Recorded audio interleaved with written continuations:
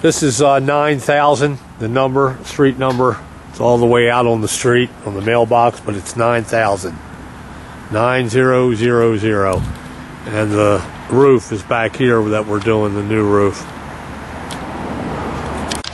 Okay, this is a new roof. Tree limb went through the roof. I believe all the woodwork and everything's done.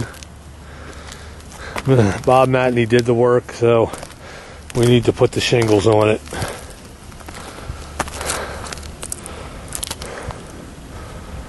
It is the pool house. There's the main house. It's all the way in the back. The crew needs to be double careful of the landscaping, and there's no way in here besides parking way out there where the shingles got to be dropped off and everything needs to be carried to here.